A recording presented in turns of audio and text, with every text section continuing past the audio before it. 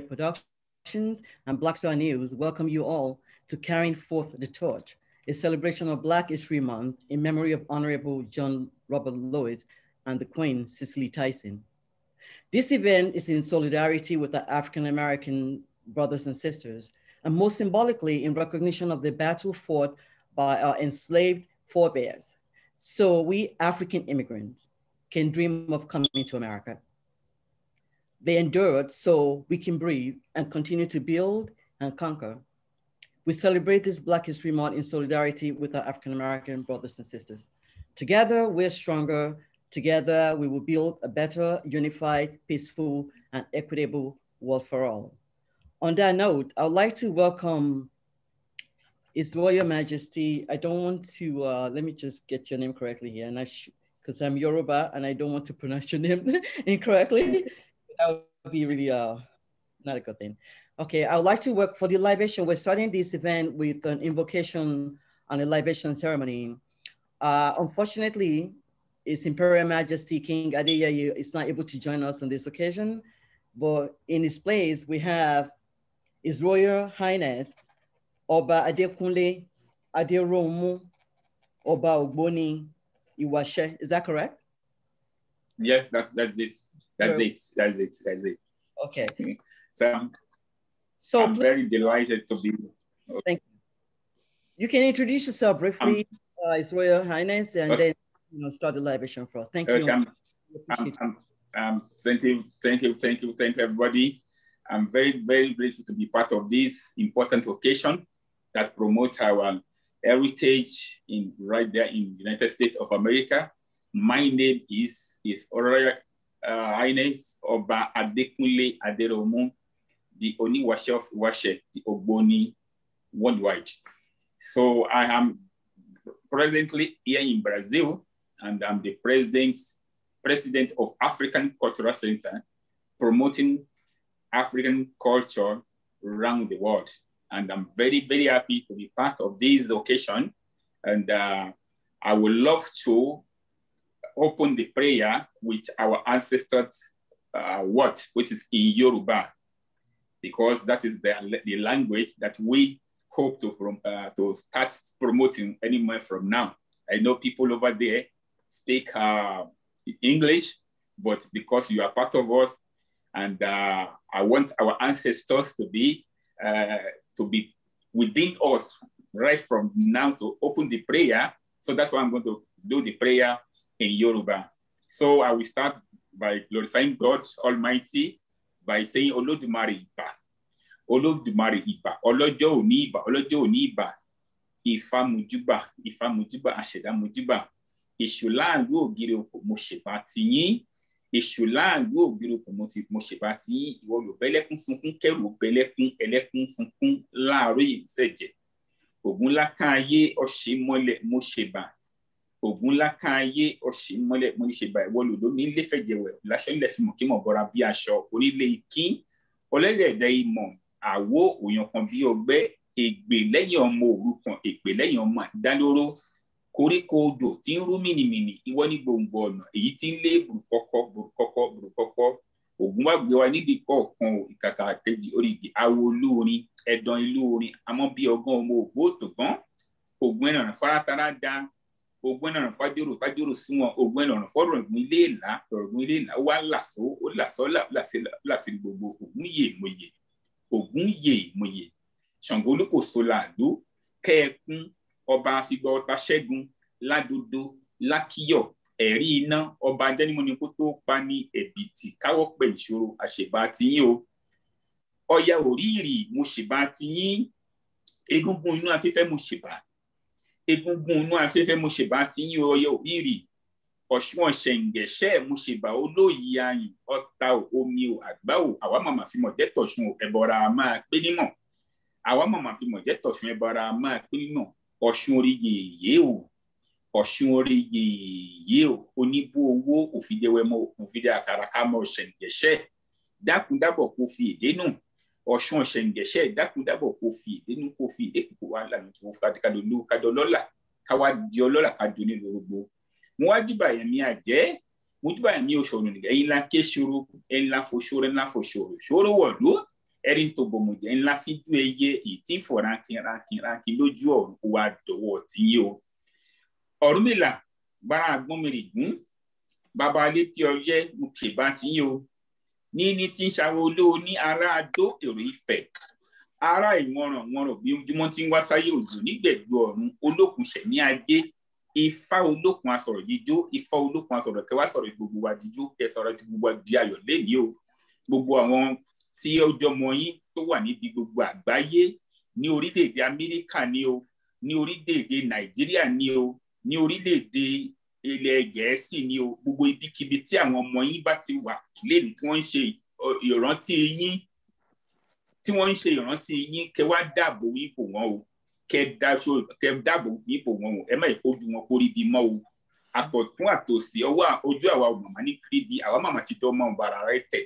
Àti ṣẹ́gunṣẹ́ tẹ̀ kú aṣẹ́gunṣẹ́ tẹ̀ àrùn aṣẹ́gunṣẹ́ tẹ̀ òpè aṣẹ́gunṣẹ́ tẹ̀ ìṣẹ́ tí ń ṣe. Ẹ má yẹ káwọ́ orogun onílẹ̀ nàìjíríà tó gún ṣe ìwájú ẹ má yẹ káwọ́ orogun bẹ̀ o ànílógun nílẹ̀ amẹ́ríkà o ànílógun nílẹ̀ brazil tí mo wà yìí o kẹ dáàbò bo gbogbo àwọn ọmọ yín jákèjádò gbogbo àgbáyé jákèjádò ètò jẹ́ amẹ́ríkà ni o ètò jẹ́ ọmọ mexico ni o ètò jẹ́ ọmọ ti brazil bíi náà ni o kẹ dáàbò bò ọ látẹ̀lé lọ àti títí láéláé. Olódùmarè àṣẹ àṣẹ tiwọ ifá àṣẹ tiwọ ọ̀rúnmìlà àṣẹ ti olódùmarè olódùmarè àṣẹ o. I'm very very happy to be with you now that we have been able to call our ancestors to come and be with this meeting i I am very, very sure that everything will be in order. And uh, I hope in future we'll be able to do this meeting uh, uh, physically and be able to know more, more of you people over there because we are promoting the same thing. Like I am promoting African culture here and the tradition here. And we hope to work together in I hope to partner with you people in America very soon. Thank you very much, and uh, I wish you well. Thank you very much. Highness, we appreciate you joining us. I'm sure you're going to hang around, right? Please stay with us okay. for a few more minutes, okay? Okay, I will. I will. Thank, thank you so much uh, again, everyone, for joining. This is a historical event, and I'm really grateful. United African Coalition Black Star News, African Diaspora for Good Governance, Global Media Productions. We're really happy that you guys hit the call when we ask we ask you to join this event not too long ago. As we do everything these days, we can't plan ahead, right? God is in control. So on that note, I'd like to introduce uh, Charles Cooper to give uh, opening remarks. Charles Cooper is the uh, chair, the chairman of the United African Coalition, which was founded in 2013. We, we get into that in a bit. But Charles, please give us uh, opening remarks. Thank you, uh, Bukola. Uh, good afternoon, um, dignitaries, um, elected officials, and guests. Um, I want to thank everybody um, who's here this afternoon. Uh, folks that are watching on Zoom, um, YouTube, Facebook, and other social media platforms. I want to give a special thanks to our president, uh, Bukola Shola, for organizing this event. Um, we at UNAC, uh, we are very lucky uh, as an organization to have someone so passionate and dedicated uh, to the mobilization of Black and Brown people on the continent and in the diaspora.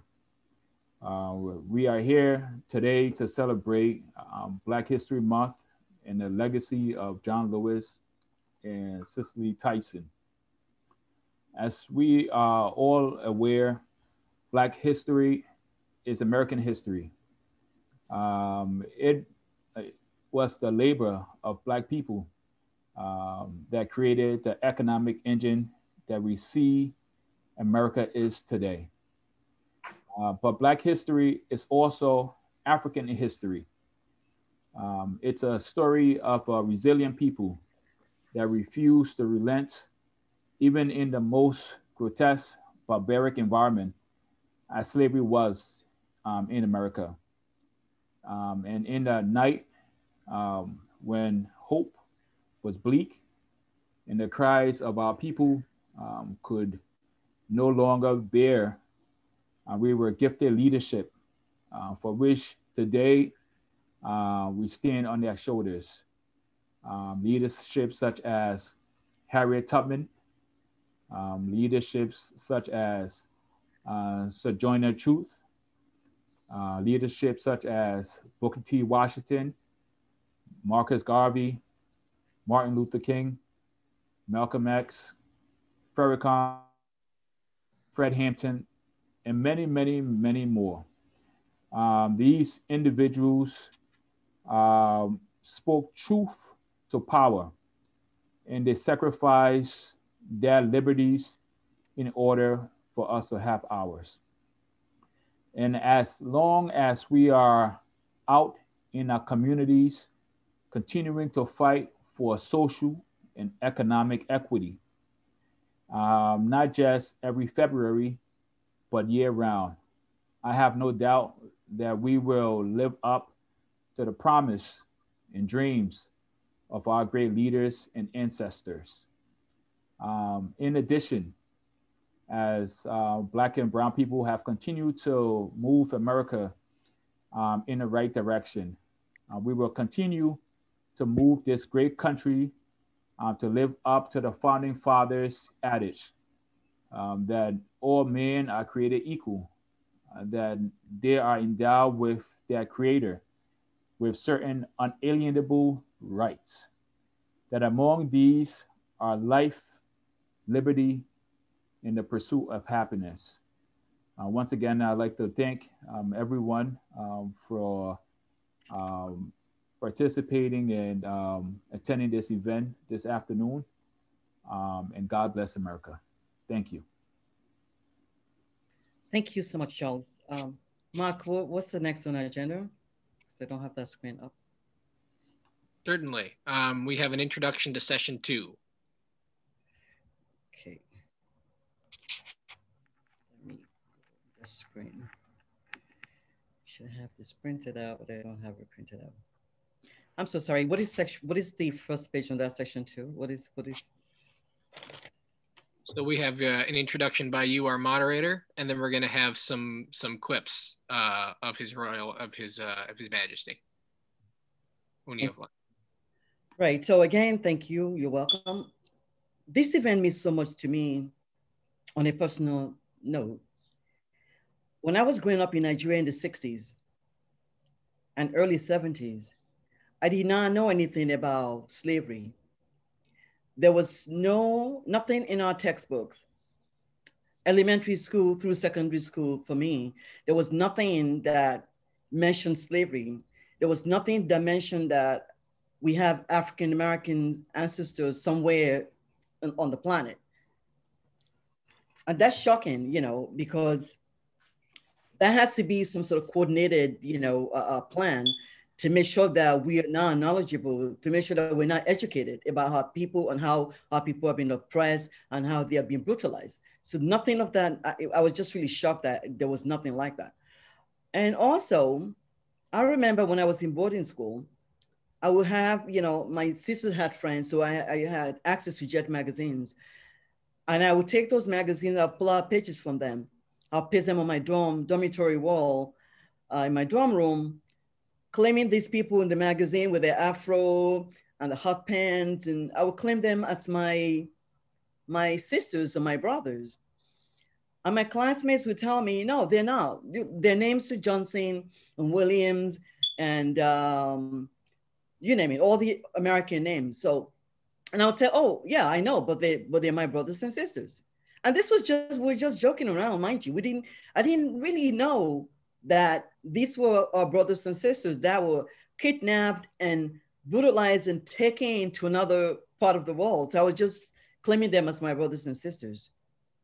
So it wasn't until, and one more anecdote, and this is, should be embarrassing, but I'm not because I just didn't know. When the movie Roots came out, believe this or not, we thought that was just fiction. There was no understanding that that was an historical fiction. We thought it was just drama. We didn't know that it was actually depicting real life experiences. So here we are today that our African Americans, brothers and sisters, we're here in America. We came here we bought uh, our own ticket. We got on a flight. We got visa. We came here dreaming of the America that we did not know that our ancestors have fought, our forebears have fought so that we can breathe. So this is what this event means to me personally. And United African Coalition, Black Star News, Global Media Production, African Diaspora for Good Governance. These are all African immigrant founded organizations. So we, we are doing these to show that we have the connection, to show that we understand, to show that we appreciate what African Americans have done, our brothers and sisters, our ancestors have done for us to pave the way so that we can breathe easy and build. So this is so important to me. Uh, and this is why we're here. So thank you so much again for joining. Uh, I have to pull up this calendar, which I'm still having issues with. Let's see. Okay, now I have it. Thank you. So next we have our first speaker, Charles just, I mean, one second. I'm in section two. Okay. Right, Mark. So please help me out when I'm trying to kind of like uh, tap my brain and kind of coordinate my brain, in other words. So the next the next agenda on the on this program is the video clips from the from the King, and also the interview I did with the King at the Foreign Press Center in New York when he came here in uh, 2016. So Mac, please go ahead.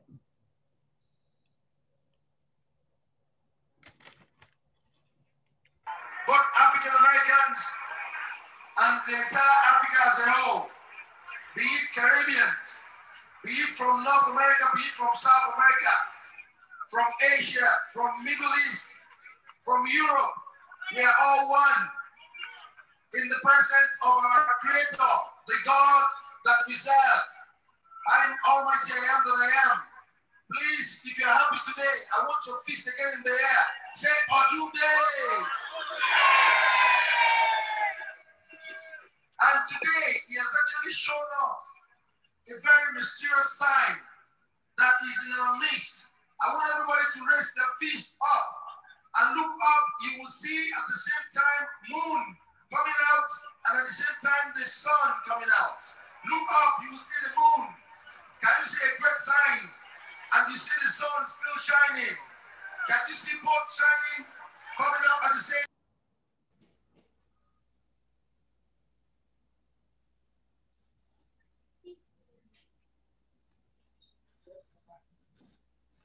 Was the video of freezing or something?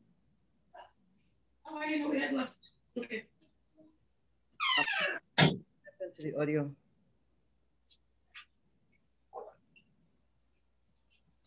Hello?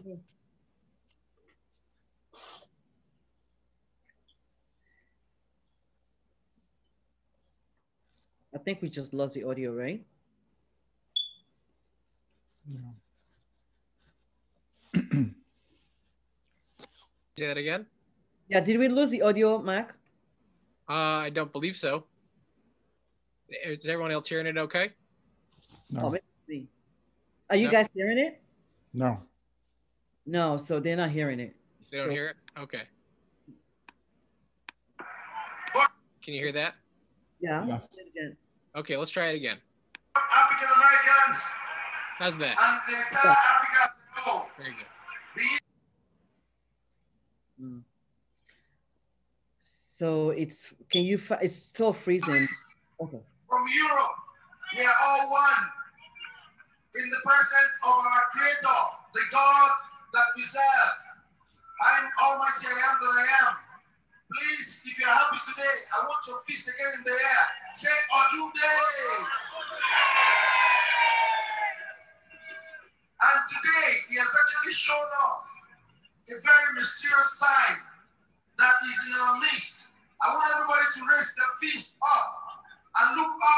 will see at the same time moon coming out and at the same time the sun coming out. Look up, you see the moon. Can you see a great sign? And you see the sun still shining. Can you see both shining coming up at the same time? It is not ordinary. It's a mysterious happening. It doesn't happen every time. If you're happy, say Odude one more time.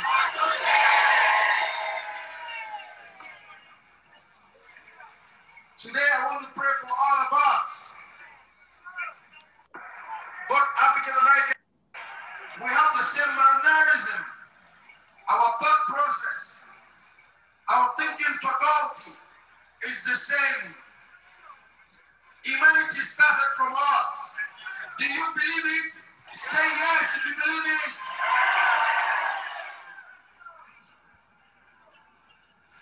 Today,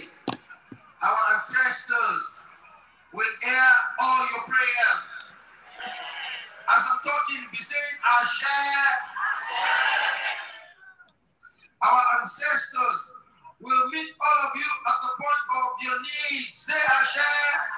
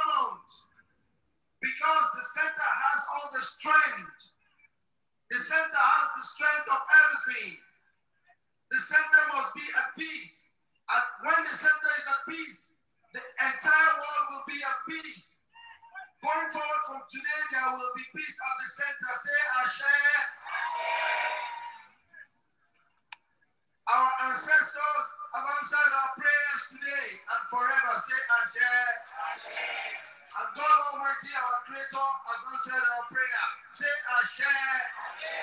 Now, if you know you're happy, I want you to sing this song.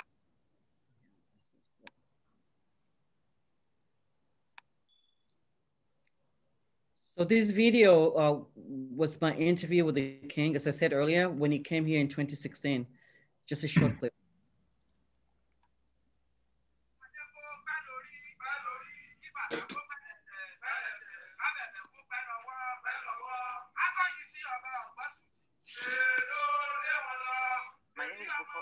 Shanuga, and I have the honor, it's really a, of, of great pleasure. I couldn't even begin to express how I feel to be sitting here with His Imperial Majesty Oba Adeyeye Enitan Ogunwusi Ojaja II Oni of Ife. When you went saw last year in December, I'm not sure how much the world knew who you were, but as soon as you were crowned, it's like something just happened around the world. You ignited something that I have never seen before, and especially in the social media platform. What brought you to the United States, Your Majesty? Thank you very much. Um, first of all, I will give all the honor, all the glory, and all the adoration to the King of Kings, the Supreme Being, for making today another memorable day. I give all the glory to, to him because he's the author and finisher of everything. So um, the objective of um, our mission is to revive and revamp our heritage, our culture, and our tradition all over the world. Not only the Yoruba race, but the entire black race. It's very important for us to unite and come together as a formidable force and uh, try and remind each and every body that belongs to the black, black race that we have things in common, irrespective of our countries. At some point, there were no boundaries of countries in the midst of all of us. All of us that came out of continent of Africa. Our colonial masters put the boundaries. So it's very important for us to remember our joy of origination, where we all came from.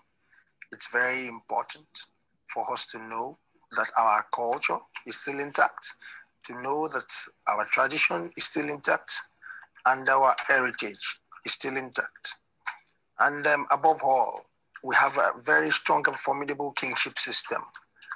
And uh, that has been in existence for hundreds of thousands of years all over the continent of Africa.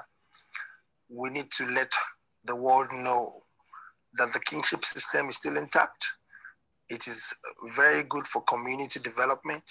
It is there to support the government and the governance in the entire Africa as a whole.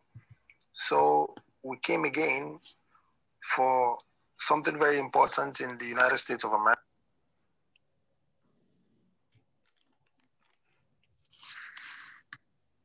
Okay, is that the end of that clip? Right. Okay, all right. Next on the agenda is uh, Milton Alimadi.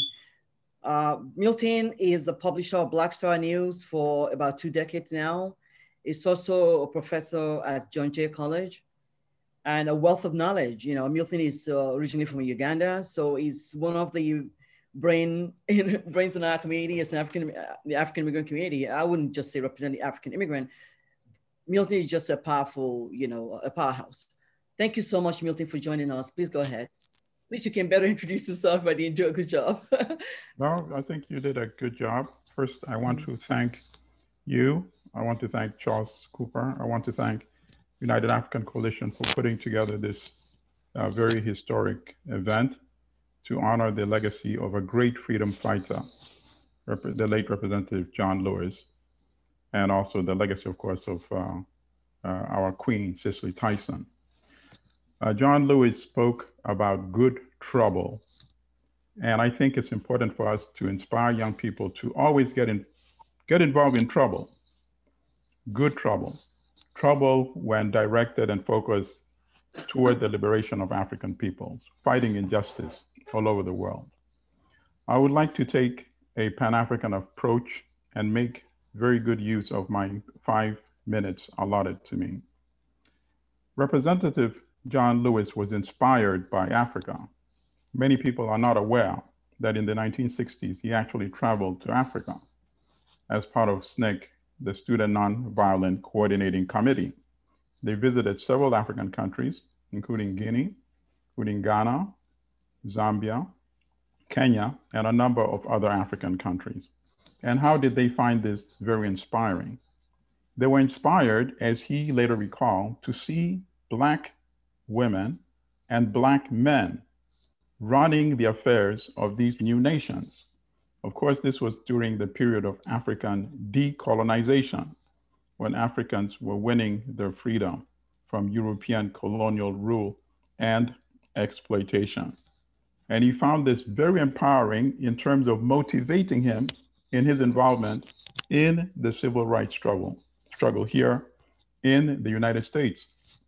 There are many diaspora Africans, descendants of Africa, who were inspired by Africa. And there are many Africans who were also inspired by African descendants in the United States. Many people are not aware that Kwame Nkrumah, who became the first prime minister and later president of Ghana, was greatly inspired by the Black struggle in the United States.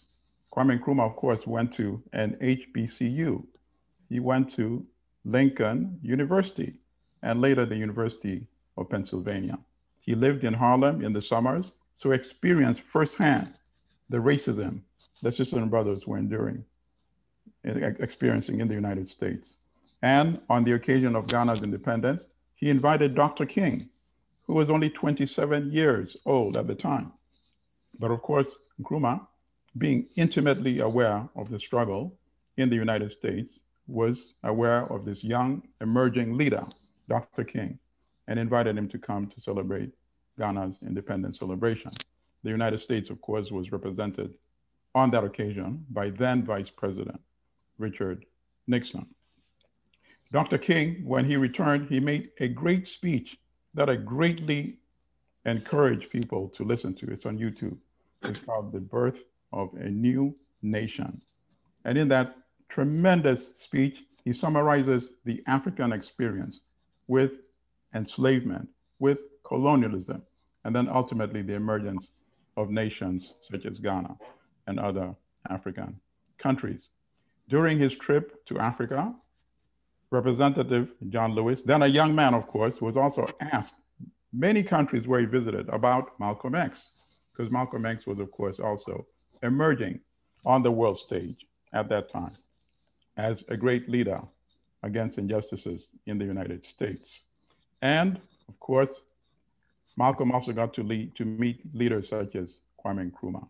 And Malcolm himself, in his own diaries, recalled how important it was to be inspired by Africa and the rise of nationalism in Africa. And he said that was greatly empowering for the Black struggle in the United States. Of course, John Lewis got to meet Malcolm on the eve of the March on Washington. They came from different philosophical approaches one, nonviolence, the other, by any means necessary. But their objective was the same the total liberation of African descendants in the United States. There are many, many African descendants who contributed to the struggle in Africa. I don't have the time to name all of them, but we have to recall people like Randall Robinson of Trans Africa, who made the divestment campaign against apartheid in South Africa. Everybody got to know about the apartheid campaign, and young people, students, became involved in the resistance against apartheid in South Africa. And that contributed tremendously, ultimately, to the liberation of Nelson Mandela from incarceration and the end of formal apartheid in South Africa.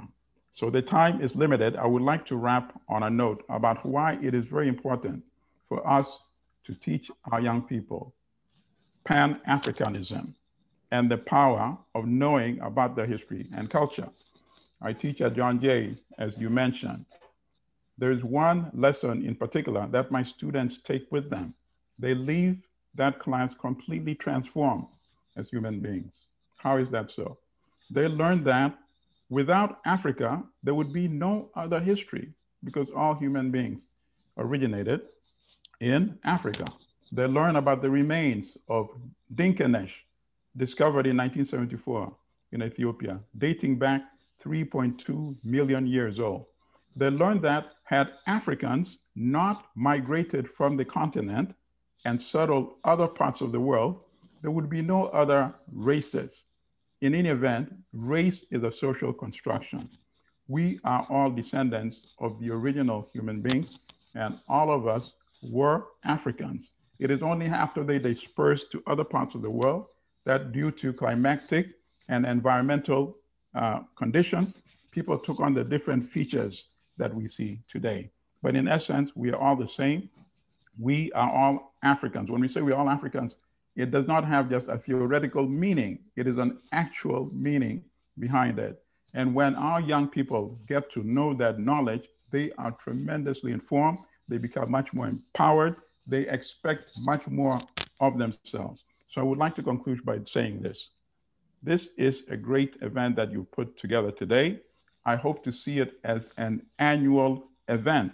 And every year when we meet to celebrate the legacy of the great John Lewis and Cicely Tyson, we also talk about the importance of making that Pan-African connection between the motherland and Africans all over the diaspora, whether it's in North America, whether it's in, in Brazil, as uh, the, the brother who opened the event today uh, showed us the importance of Africans in Brazil as well. So that would be my hope that this becomes an annual event.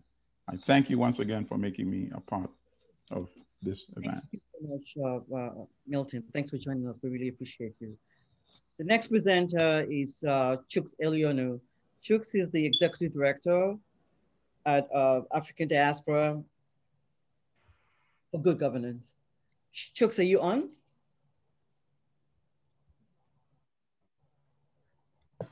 Yes, uh, thank okay. you. Can you hear me? Yes, we can hear you now. Thank you. Thank you so much, uh, Mr. Shonuga, and thanks, uh, fellow panelists and uh, invited guests. Uh, it's a pleasure to be here. So um, I am with the African Diaspora for Good Governance.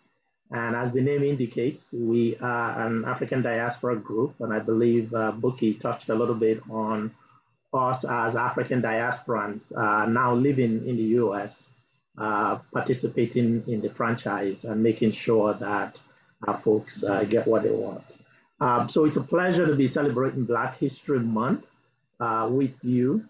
Um, I feel very strongly that Black History Month should not be just an African American thing. Uh, we, the African diasporans, should also uh, make very strong concerted effort to celebrate it. So what I'm about to say ties back to that and in honor of uh, commemoration of John Lewis, whom we are also celebrating as part of this. Um, so as you know, the great writer uh, from Nigeria, Chinua Achebe, uh, did say that the story of the hunt will always glorify the hunters unless and until lions get their own histor historians. It's a very, very in, uh, informative uh, quote in the sense that as children, we learn history and everything we've read in history, whether you went to school in Africa, in the Caribbean, anywhere else in the world, including here in the United States, the history that you read are often written by white men. Therefore, all the stories in those history books often glorify white men and women. They often never tell you the true original story.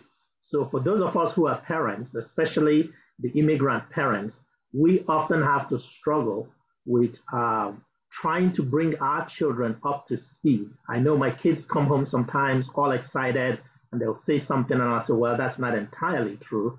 And I'll teach them or at least try to instruct them on some of the background uh, facts that led up to that. So the United States today is the most powerful country in the world. Uh, unfortunately, the event on January 6th here in Washington, D.C. made a disgrace of that claim. But nonetheless, it is still a very powerful country. Though a powerful country it may be, I want to claim that America would not be as powerful as it is if it were not for African Americans.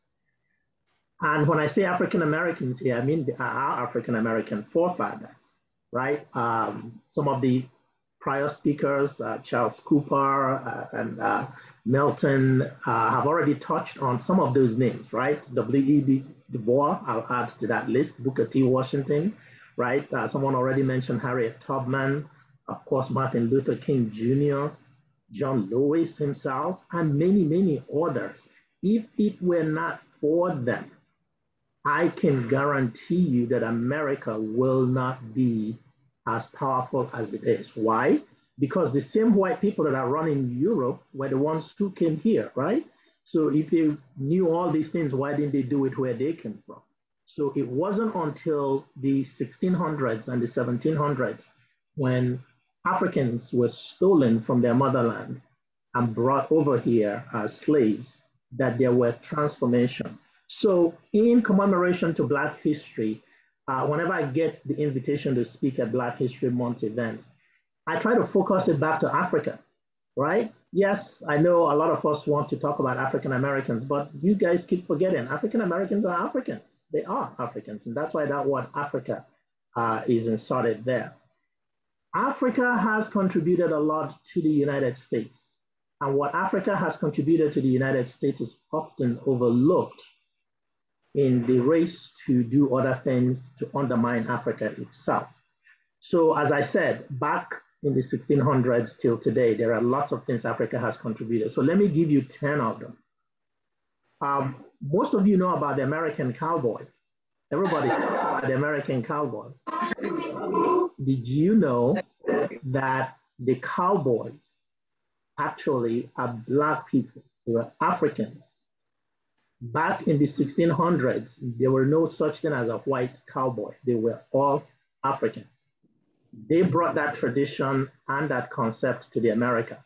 And in, in addition, how about cattle, right? I have a lot of friends in Texas, uh, Montana, some of those uh, places that value cattle.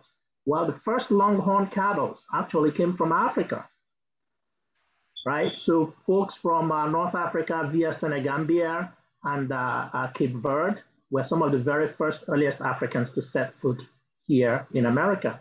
And something they do not teach you in American history is that some of the early Africans that came to America were actually not slaves, right? Why does the American history always talk about 1600s? How about the 1500s? How about the 1400s? There were blacks here then. They were not slaves. So there are lots of things we brought. How about rice farming? The white man did not know how to farm for rice. They almost died after the Mayflower, right?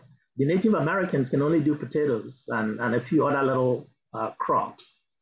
It was Africans when they came here that brought rice farming, a tradition that is till today uh, uh, cultivated in the country of Madagascar.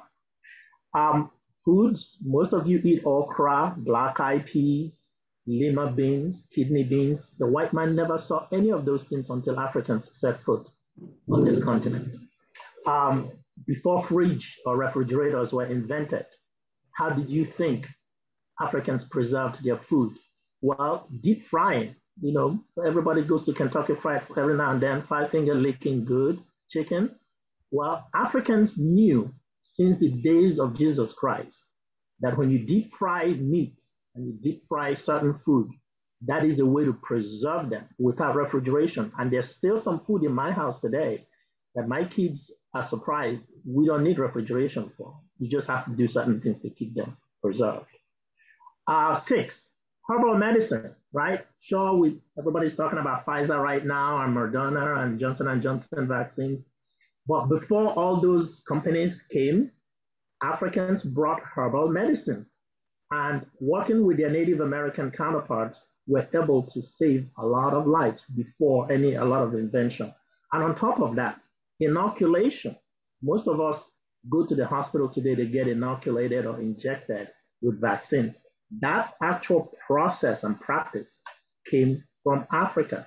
Ancient Egyptians used to do it long before the white man ever knew how to do that. How about the game of chess? Today, we think chess is a game exclusive to only white upper class. No, actually, it is an African game. You can go back to the pyramids of Egypt and you will see diagrams, murals on the walls of the pyramid depicting the pharaohs and their wives playing chess.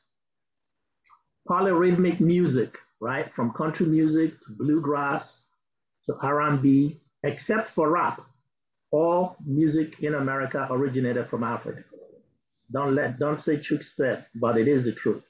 Last but not the least, which is the 10th, since we are celebrating Black History Month, I wanted to also make sure that we give credit that Africa brought its own people, both free and slaves, to come here to help America. Contrary to what the history books has, Africa never sold anybody. Americans came and stole them from us, raped them, beat them, enslaved them. That's not our history from Africa. Nobody was sold. It's Americans that turned it into a business.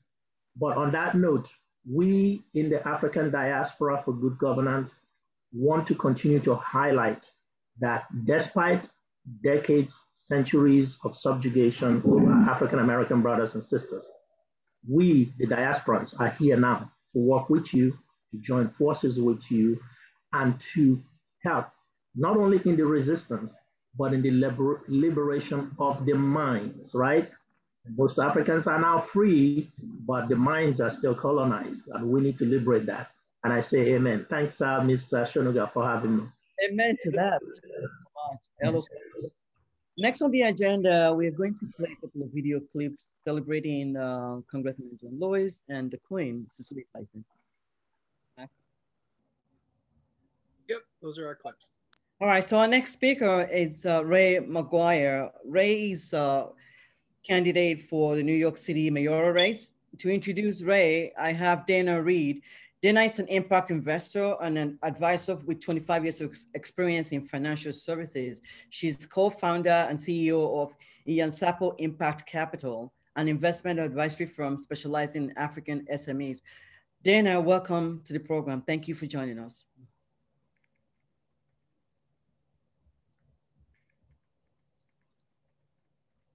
Dana, are you there? Dana's on mute. Dana, I, hi, I'm here. Thank you. Um, just Bukola Ray's in the waiting room if you could let him in. Um, but I was just saying good afternoon to everyone. Bukola, thank you always for putting on such great events, bringing the diaspora together, which is so important to me as an African American. We are one. Um, and in in light of uh, Black History Month, to me, every day is Black History Month. I am um, ecstatic to to introduce you guys to Ray McGuire, who um, is somebody that I have looked up to professionally. Um, he is our most senior um, African American on Wall Street, but um, he's just one of the most senior people on Wall Street as well. So we have all looked up to him. Um, what a lot of people don't know about Ray is, in addition to his um, financial expertise, he is a man of the community, for the community, by the community. Um, and he is really looking forward to having these discussions going forward um, with the diaspora because we are truly one. And I'm looking forward, um, you know, to I, this is not a political event, but I do support his mayoral race. Um, I'm looking forward to having um, such business acumen in our city, in our neighborhoods, um, because we certainly need it. And so I'm hoping that Ray is on. I can't see. Um, Mac is Ray on? Uh, Bukola, if he's in the waiting room, you should be able to see him as the call host. Yeah, he's in the waiting room. So let's. Okay. Um, and so that's what I was saying. As we talk about bringing the diaspora together, they've tried so many years to separate us. I enjoy these forums because um, they can't separate us, and we also um, we need to support our leaders, and we need to be involved in our processes because we do get to pick and choose. So when we show up, um, we're showing up for our families and, and our future. With that, I'm hoping that Ray is in now. Just one moment, please. Okay. Thanks, Mac. Absolutely. There we go. Good afternoon, Ray. Good Safely afternoon. How are you? In the neighborhood. We're good. I am out and about. Forgive me. Absolutely. So I just introduced you, so you're ready to go. I know you're running a tight schedule, um, getting to Queens to speak to our, our people out there. So you got the floor. Thank you. Thank you so much, United African Communities. And special thanks to Dana Bukola. I am honored to be here with our colleagues, brethren from the continent. I have spent time I've spent time on the continent uh, supporting leadership from Ghana to Nigeria to South Africa to Rwanda. I'm honored to be here. And what I recognize on this journey is that the opportunity exists for us, especially now, to come together in ways that we have historically not been together. We have talked about it, we haven't been about it. And so as I think about my days from from Dayton, Ohio, raised by a single mother, across the street from a paper mill. My single mother was a was a was a social worker, and she raised me and my two brothers and gave me the opportunity to leave my neighborhood and walk three quarters of a mile to a mile to get to a corner that the bus picked me up to take me to a school in the suburbs. And I did that from sixth grade to 11th grade. In 11th grade, I had a 4.0 average. I averaged 28 points per game playing basketball. I was president of the school. The teacher said, if you're as good as they say you are, why don't you go and test yourself against the big boys and girls in the East? I said, where are they? So I took a Greyhound bus around New England by myself at 16, looking for the big girls and boys in the East and did okay. Landed at a school in Connecticut called Hotchkiss. I was there for a year and did okay. Applied to six colleges, got in, and then went on to Harvard College and then on to law school and business school. And I started in New York. I had three things I had a great education, I had a lot of debt, and I had no money. And it was there that I began my journey in business, where I was fortunate to be able to lead a global business, global corporate and investment banking business that had responsibility for all of our activity in North America, in South America, and in the continent, on the continent. So I have been fortunate to understand the power of the relationships between the continent and between the West. And that power is now being exhibited in so many different forums. It's being exhibited in business. It's being exhibited mostly in business and hopefully even more in art. There was not so long ago a opening of a great Nigerian art dealer in Los Angeles, which is now posted of the Relay Gallery. This is Sono. And so I look at I look at relationships like that. And I look at the power of that through art, through business, through the relationships that we have in education. And I look at the demographic trends and the growth that's taking place on the continent. And I look at the leaders who who were on the continent and who are here now and the relationships that are only growing stronger. And I'll give you evidence of one whom, on whom shoulders I stand, one Franklin A. Thomas, whom you may or may not know. But Franklin Thomas started the Bedford Stuy Restoration Corporation. He led the Ford Foundation.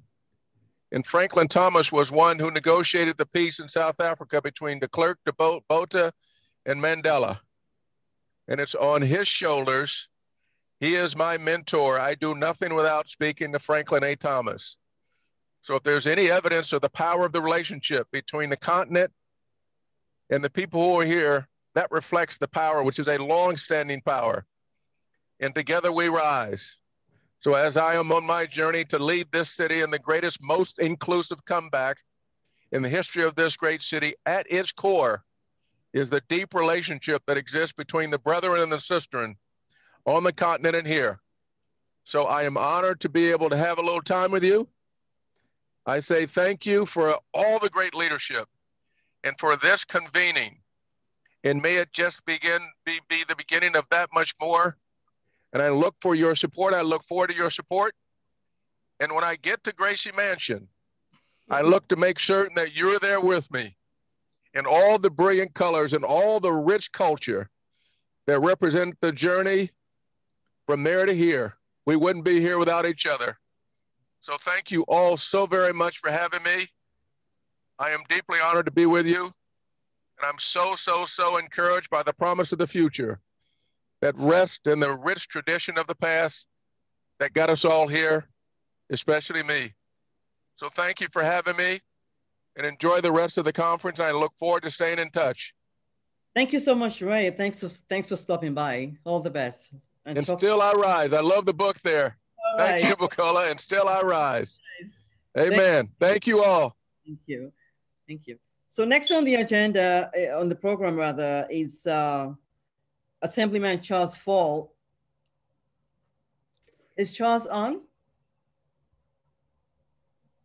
He might be running a little bit behind. Um, I see. I don't see him in the. Uh... Okay. So we're going to move right along. What about Senator Kevin Parker? Senator Parker, are you here?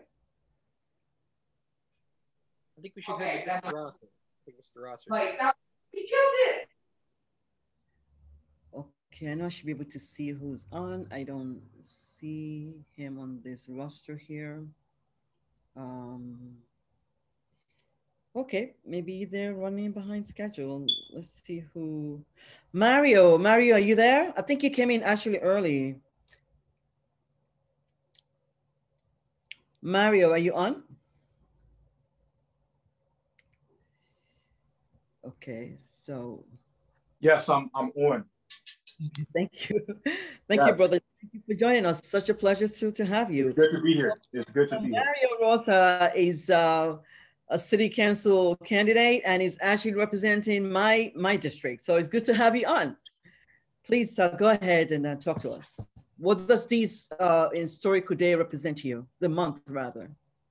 Right. Well, thank you, Bukola. And uh, I sincerely appreciate the opportunity to be here today and to address this important convening in a moment of great weight in our history as a people. Uh, again, everyone, my name is Mario Rosser. Uh, I am a candidate for city council uh, here in New York to represent Central Harlem, my community, our community, your community. Uh, and with, with God's grace uh, and the hard work of our team, come June 2021, we will be victorious.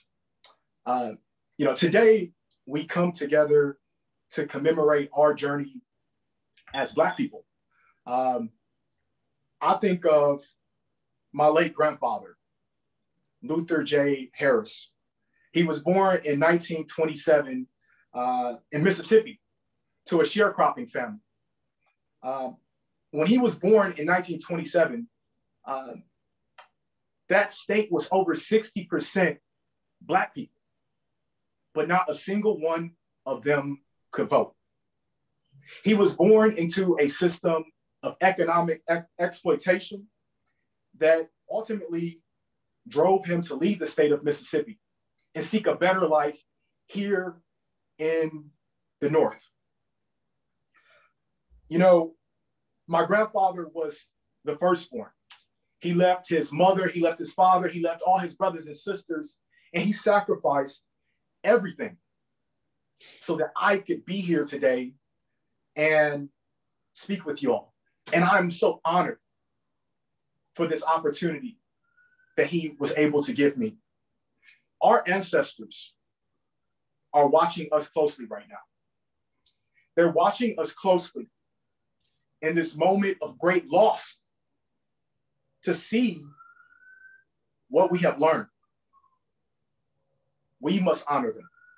You know, growing growing up, I I was blessed to have a mother who frankly taught me to embrace and study my African heritage, despite being a Black American. My ancestors came to this country 400 years ago, but my mom told me never to forget where we came from.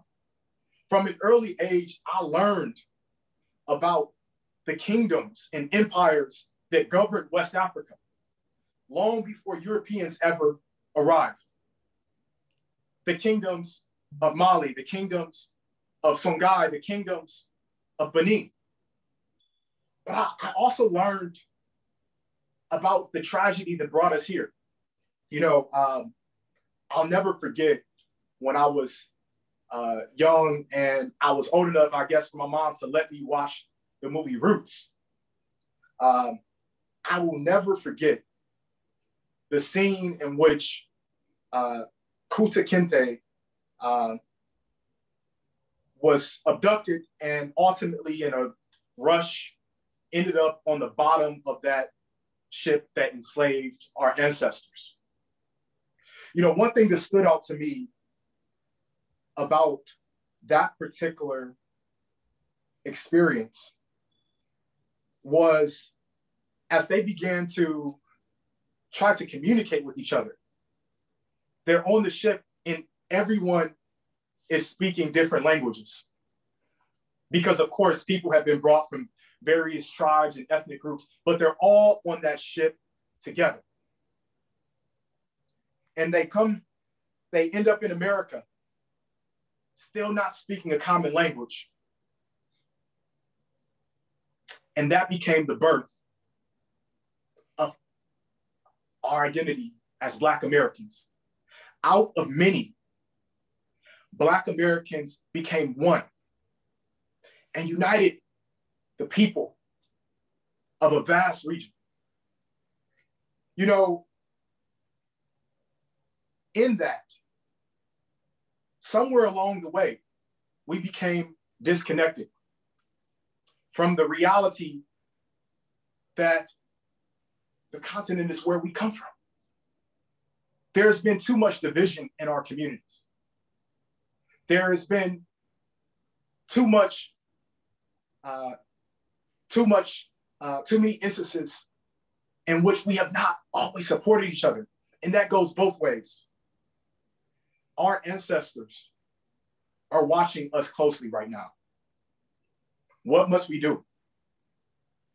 By strengthening our diasporic bonds at this time, particularly at this moment, we can create a better future. Um, you know, when I think about my community in Harlem, Harlem is really a dream community for this. You know, what would Harlem be without our Senegalese community, our Malian community, our Guinean communities, the Francophone community? What will Harlem be without these communities? That is what Harlem is today. Obviously, Harlem has a incredibly rich culture and heritage as a as a bastion of Black American culture and West Indian culture. But Harlem is a dream community today because where else can you find such a blend of the diaspora of our African communities, our Black American communities, our West Indian communities? We are all here together today in Harlem. It is a true, it is a true gift. And in this moment, we must capitalize upon this gift that we have in order to answer the challenges that we're facing today as a neighborhood, in which a record number of businesses have closed, a disproportionate number of them in our community, Black owned businesses, in which our people are literally lined up today to get food in food pantry lines. We must come together as a community and recognize the only path forward is together and by strengthening our diasporic bonds. Today, as a candidate for city council, I want you all to know that I am here to strengthen those bonds.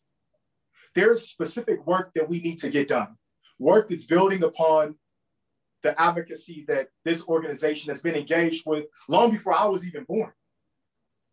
I'm young, but I know what it took for us to get here, and I respect where we've come from. We need to do everything we can as a city to support vendors and traders and folks who go to market to make doing business in Harlem easier for them. That's a unique thing that Harlem brings to the table our market culture. We need to do everything that we can to make Harlem a beacon of a neighborhood that supports and embraces and accelerates the pathway to success for our Black African immigrant community.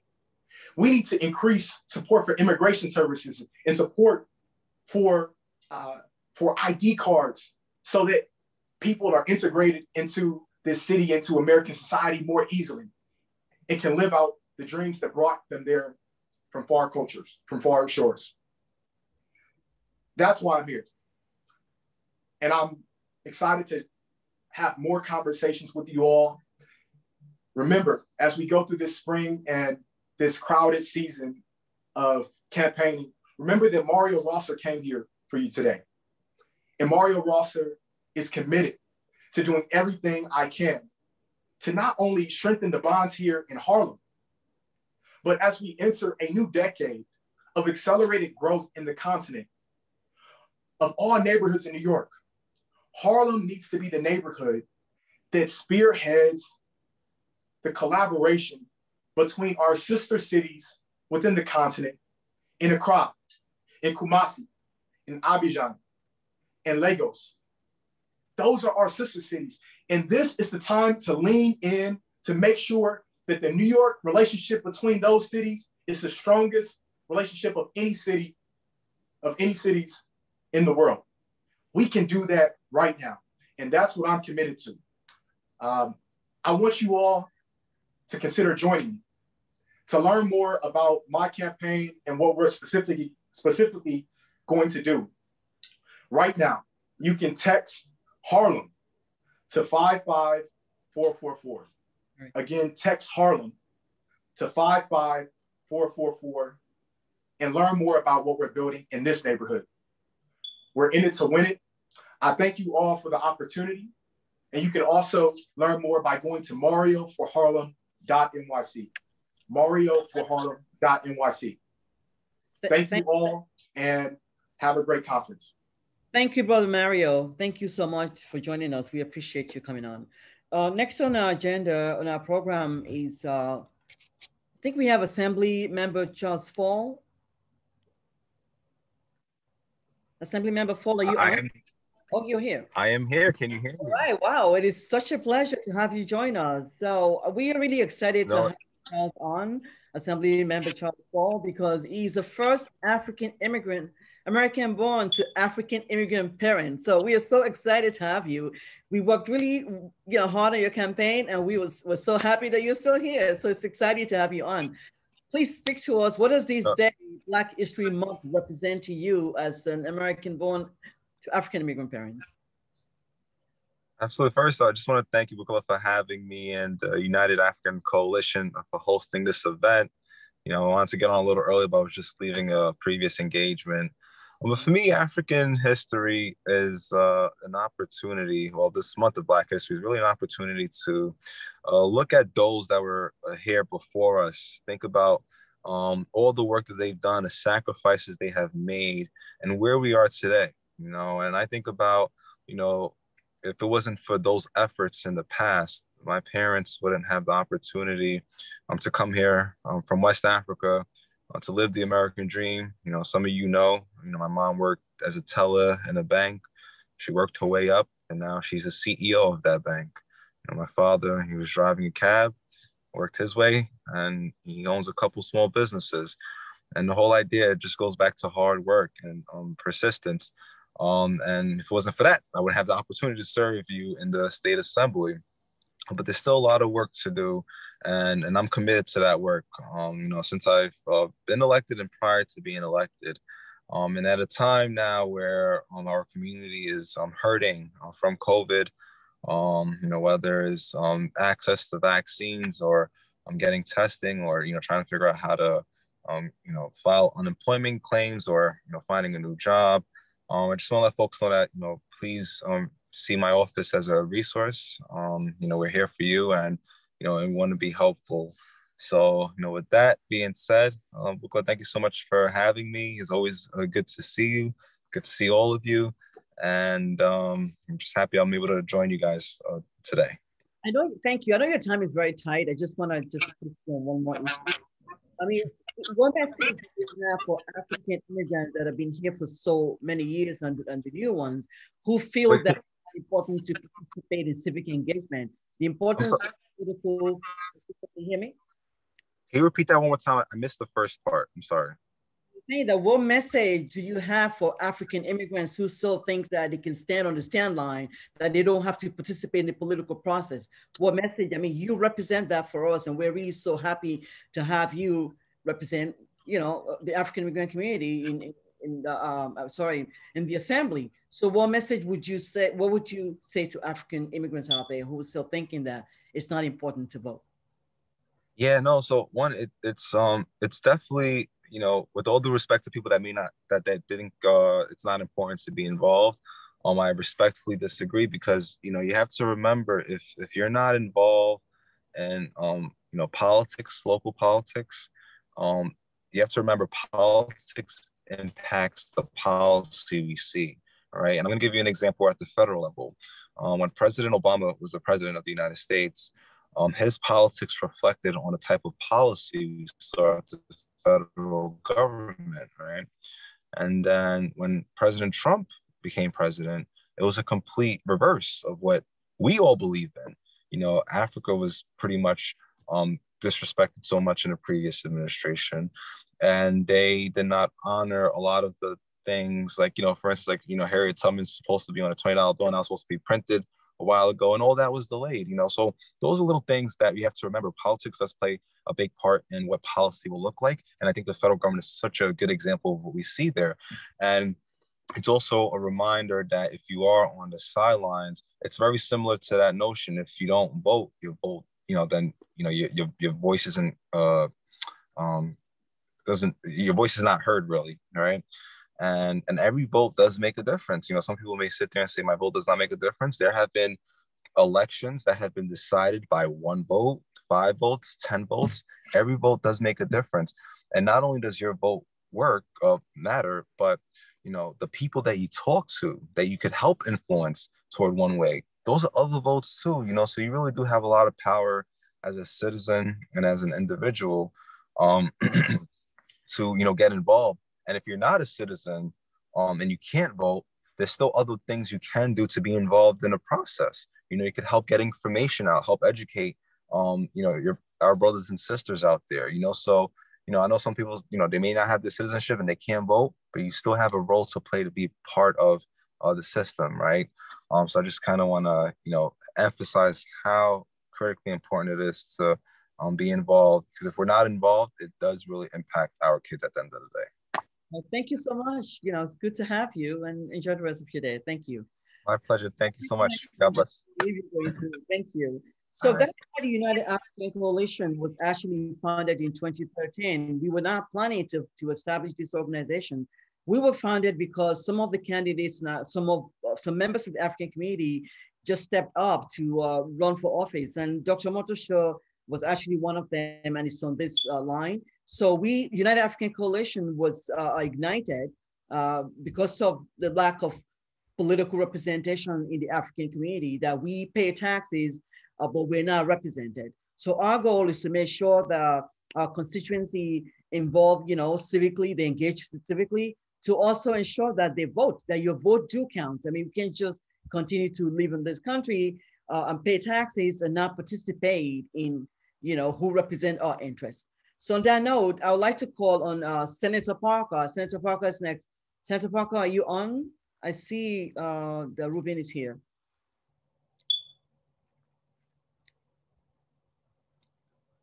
Ruben, can you hear me? Yes, I'm, I'm sorry. Could you just repeat repeat that? I, I can hear you. Sorry, I was asking Senator Parker to come on. Is he is he is he on standby? Is he here? Senator Parker? I oh, I'm not on his staff. I'm so sorry. No, that, that's okay. That's okay. I'm with the assemblyman. Right. Okay. My bad. Let me. I don't see him here. Um. Okay. Oh, Asmahan. Asmahan is just joining us. Fantastic. She's actually next to us, Senator Parker. Asmahan, it's such a pleasure to have you here. So, Asmahan is the, with the Mayor's Office of Immigrant Affairs, and she is just, uh, you know, she's also uh, from, I mean, she's African American, was of African descent, directly of African descent, and she, you know, she serves the African community so well, and she's a liaison you know, with the African community at the mayor's office. So she's our go-to person. Anything that happens in our community that we need help with, Asmahan has been really, really wonderful. And we really thank you for joining us, Asmahan. Please go ahead. What does this day represent to you as an African immigrant or African American? And, uh, you know, yeah. Hi, everyone. Good afternoon. Thank you, Bukola, for that introduction. Um, yeah, as Bukola said, my name is Asmahan. Um, I work as a community liaison or other terms organizer with the New York City Mayor's Office um, of Immigrant Affairs, and we're one of many mayoral offices in the city. Um, but our office works directly with immigrant communities. Um, and, you know, as Bukola mentioned, um, I am directly of African descent. Um, my family and I are originally from Somalia.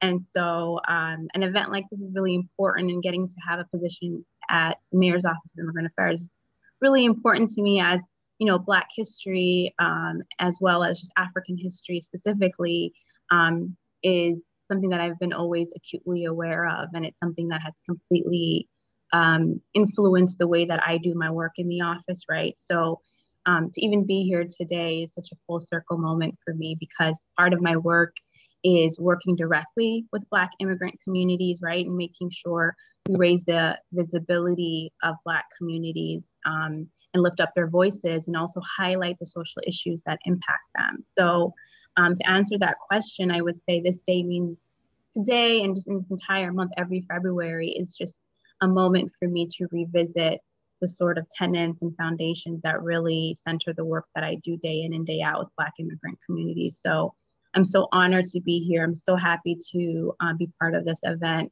during the closeout of Black History Month this February. Um, but I also wanted to take an opportunity just to share some resources and information um, because, you know, as we talk about legacies, we also need to talk about what's happening presently, right? So the work of our predecessors and, and our leaders um, that we highlight during this month never ends. And so as part of that, it's so important to carry that work along. And so what I wanted to share today is just to let you all know that our mission, you know, at the Mayor's Office of Immigrant Affairs is to advocate and empower immigrant communities, especially during this time, and making sure that their voices are heard and their concerns are being met. Um, especially now during this pandemic, you know, our number one priority is making sure that folks are um, directly connected to the resources that they need. Um, so I just wanted to um, give you guys a, a, a link or a, a, quick thing that is important to have on hand that our office does. So um, we, at our website at nyc.gov slash immigrant slash coronavirus, you'll see our immigrant resource guide um, that provides critical resources for folks that range from food access to healthcare. Um, so I'll put the link in the chat. Um, but in general, also put my contact information. I'm really looking forward to connecting uh, with you all. And I really want to take, uh, thank the United African Coalition for inviting me to speak briefly this afternoon. Um, and I'll put everything in the, um, uh, the chat. But thank you all so much. And, and uh, it's an incredible event to be uh, invited to. Thank you, Asmahan. Pleasure to have you join us. Mac, who is next on our on our program, please? As I'm trying to find this uh, list again. Um, Certainly. I believe uh, if uh, Gene Adams is here, uh, okay. Gene was next on our lineup. All right. Jane, welcome to the program. Can you hear me?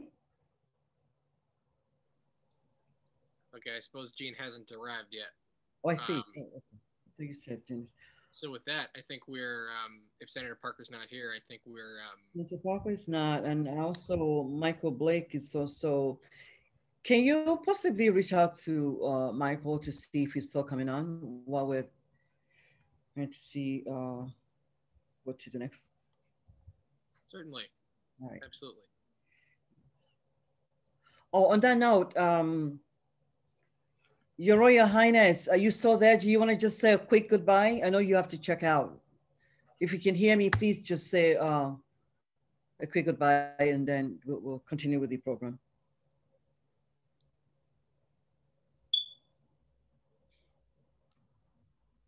Hello, Shang, Shang Bombing. Okay. So once we enter the next session, it's gonna be a bit tough. Just give me a quick sec. Let me see if I can find them. Hello?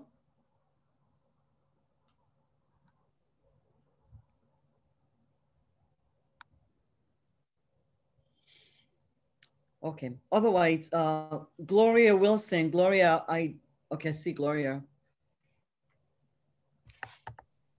Gloria, okay, I see you now. Thank you. I know you check out, so please just a uh, quick goodbye. We appreciate you coming. and share on you. Thank you very much. We are very, I'm very happy, delighted to be part of this program. And I wish this, uh, I wish you very much successful this kind of program.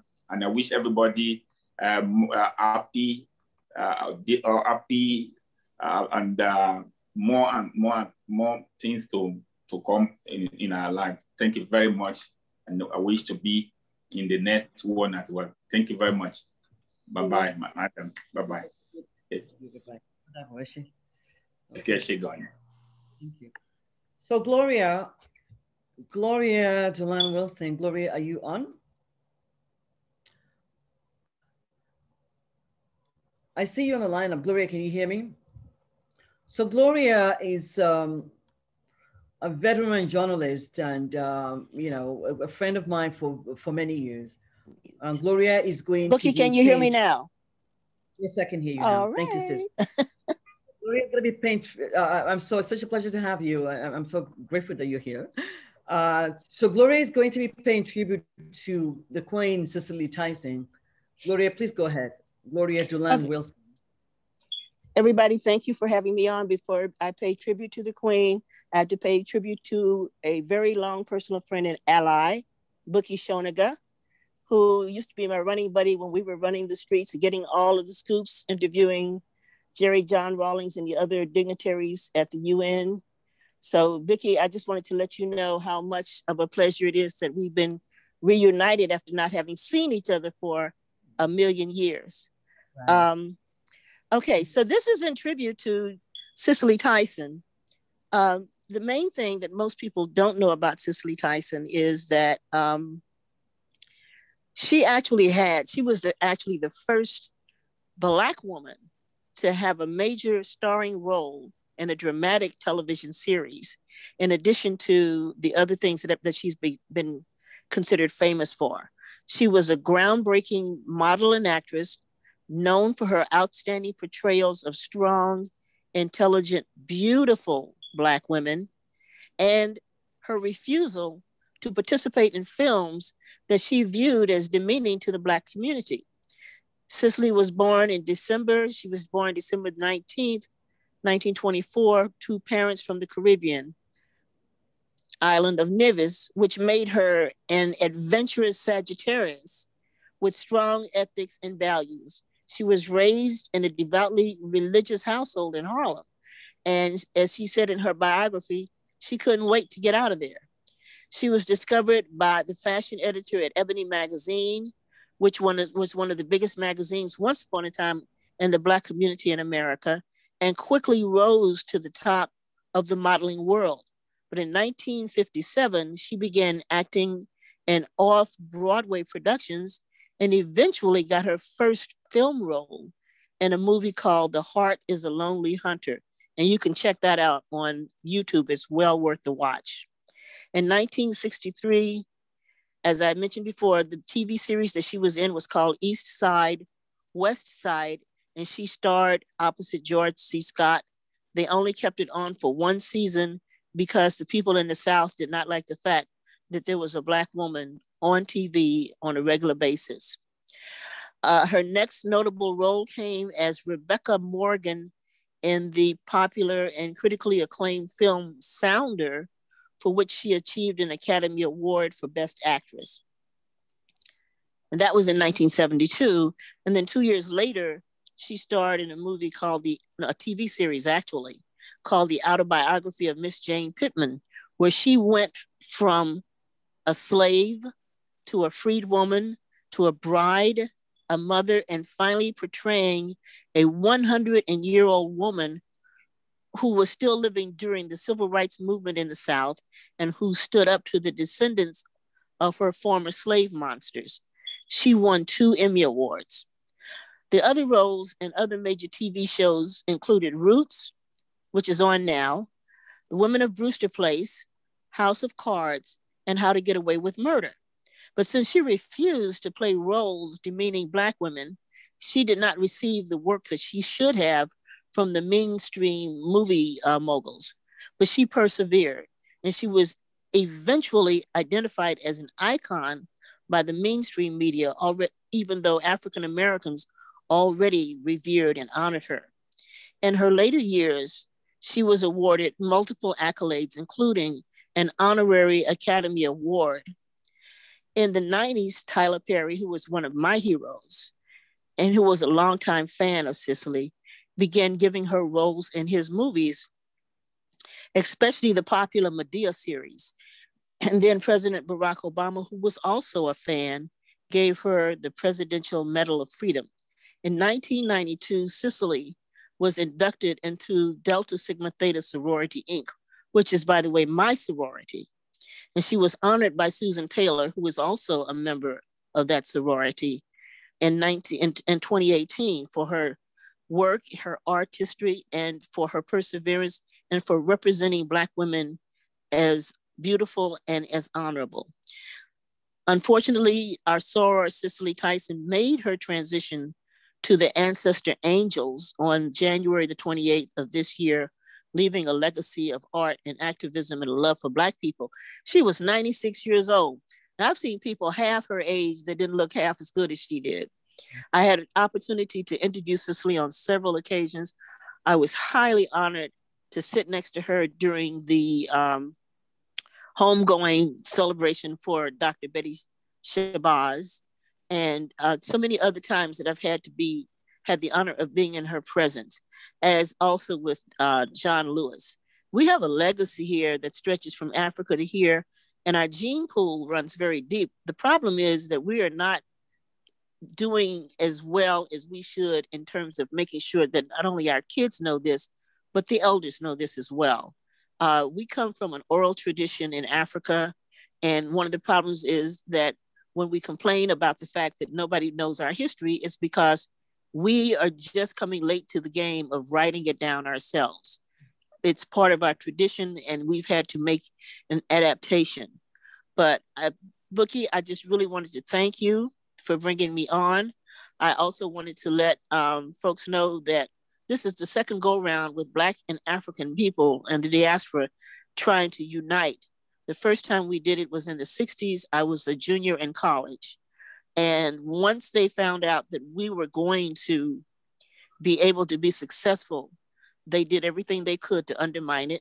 So it took another 40 years for us to figure out that we were supposed to work together.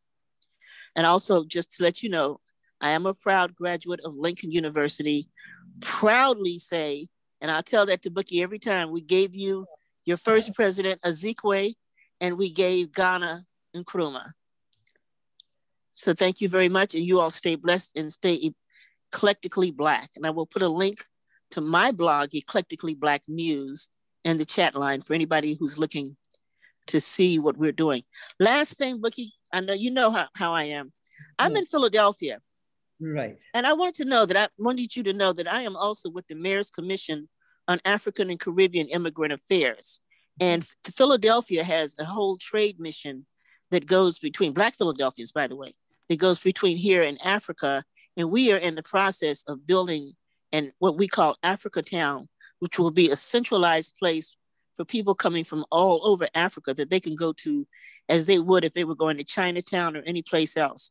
Wow. So we have a very strong uh, African and Caribbean, not only population, but they're in government, they're elected officials, and they're doing all kinds of wonderful things. Thank you. The reason I said wow is that the stars are in alignment because we're doing the same, we're trying to do the same thing in New York. We're trying to create little Africa in New York. Mm-hmm. A place where people can come and experience our culture and the richness of our culture and everything. So this is great. So let, let's talk on that and see how we can all collaborate. Well, there's definitely synergy. And also the clip that you did from 2015 was from the Odunde Festival. The festival, yes. I was there. Oh, I, I wish I had known you were there. and I just also saw you in November. Um, you know, actually, yeah, September and October ending. Yes. Well, the outreach for the Biden Harris uh, campaign. So we're so happy that you know they won, right? Uh, and tell Brother Chuks, uh, I was on the uh, Zoom call when we were dealing with getting out the vote back in October and and, and November as well. Thank you, sister. Good to good to have you on. So, it's so good to be with with people who know what the heck is going on. You stay blessed. You well. Sorry, guys, to be uh, reminiscent. And, apologize. You know, all good. So now we have Roscoe Boyd. Roscoe is going to pay tribute to Honorable John Robert Lewis. Roscoe is uh, part of the NAACP. I believe you're uh, the current VP to the board. Please, Roscoe, go ahead, please. Bukola, thank you so much. Uh, I want to thank you and the United African Coalition for the awesome work that you do and this wonderful presentation today. It is indeed uh, something wonderful when we can dwell together in unity. You know, it's often called, it is often said that John Lewis is one of the most courageous persons the civil rights movement has ever produced. He dedicated his life to protecting human rights, securing civil liberties, and building what he called the beloved community here in America. His dedication to the highest ethical standards and moral principles won him the admiration of many of his colleagues on both sides of the aisle at the United States Congress. Congressman John Lewis was born to a family of sharecroppers outside of Troy, Alabama, at a time when African Americans in the South were subjected to segregation in education as well as in public facilities and across the nation. We were also prevented from voting by systemic discrimination and intimidation. Now, though he was surrounded by two loving parents, a sister, brothers, as well as plenty of cousins, their love could not protect him from the unholy oppression waiting just outside that family circle. Unchecked and unrestrained violence and government sanctioned terror had the power to turn a simple stroll to the store for some Skittles or an innocent morning, jog down a lonesome country road into a nightmare. True terror.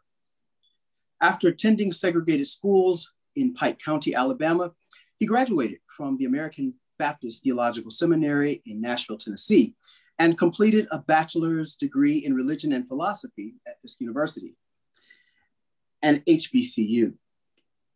It was there that, as a student, he began participating in sit ins at segregated lunch counters to protest racism and segregation.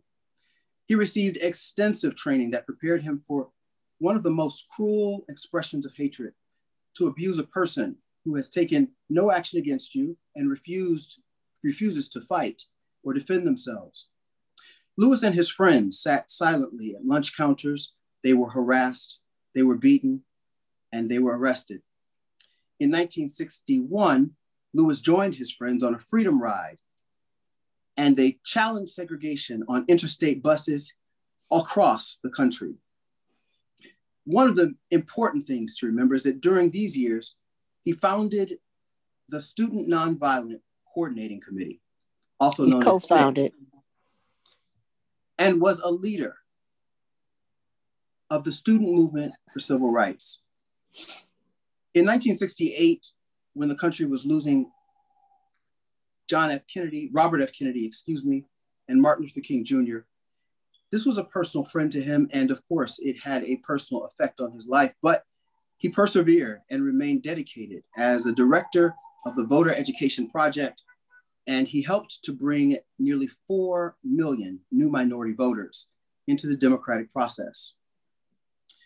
Like so many young people today, uh, John Lewis was someone who needed to find a place, and he did. He found a place within government and within leadership, and found a way to speak truth to power. Lewis began his time in government when President Jimmy Carter appointed him as head of the federal volunteer agency, Action. In 1981, he won a seat on the Alabama City Council. And in 1986, he won a seat in Congress in the same state where his parents had been prevented from voting many years prior. One of the things that Congressman Lewis would say is that ordinary people with extraordinary vision can redeem the soul of America by getting in what he would call good trouble, necessary trouble. And voting and participating in the democratic process are key to this. The vote is the most powerful nonviolent change agent you and I have in a democratic society. And we must use it because it is not guaranteed and we can lose it, he would say.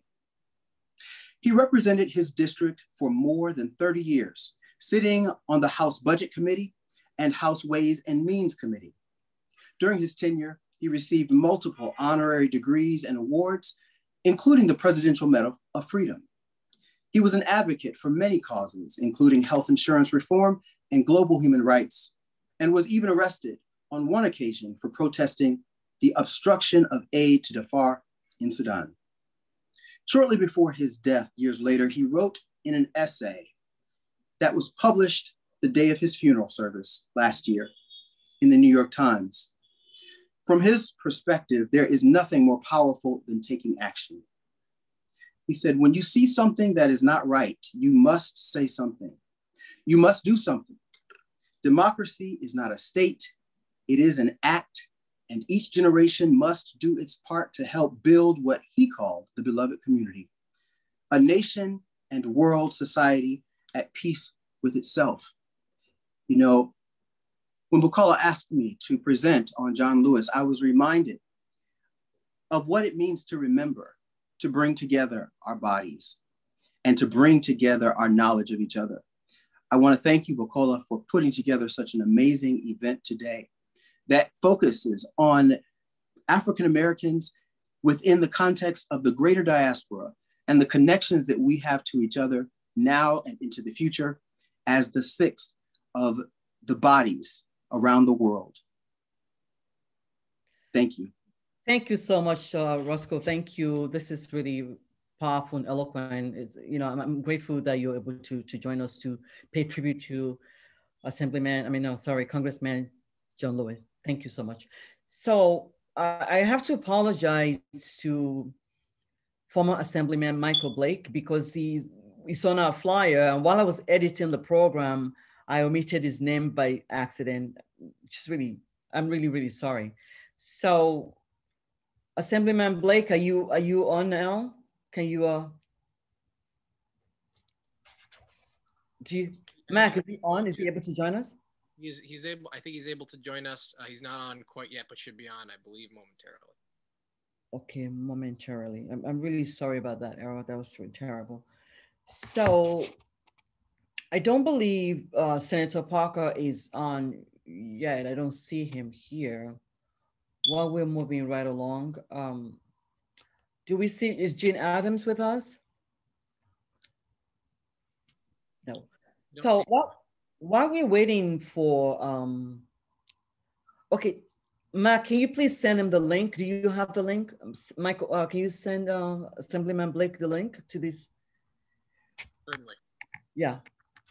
Okay, so um, guys, I'm just gonna wait to uh, for for Michael to join us for a quick second so that we can do uh, uh, maybe some closing thoughts while we're waiting for. Um, I don't believe Senator Parker is going to be able to join us. We'll see. Otherwise, thank you guys for hanging hanging with us. So we, this is running smoothly.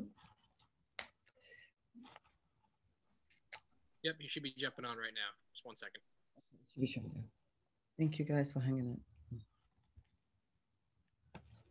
This is how we can build together stronger. We're so powerful together. The colossal talent, the cultural richness, it's just unparalleled. And we have not leveraged that enough. And I hope this is a new beginning of our partnership with our, uh, you know, African diaspora uh, sisters and brothers. This is really great. Thank you all for, for honoring us by, you know, hitting the call. We appreciate you all.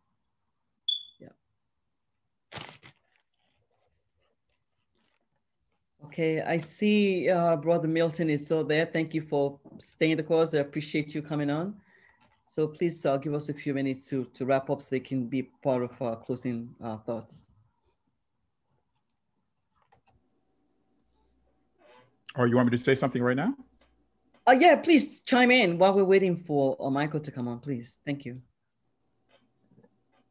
Well, I mean, as I pointed in the beginning, this is the kind of thing that we need to have on an annual basis. All the speakers recognize the power of Africa, not only historically, but even in practical terms.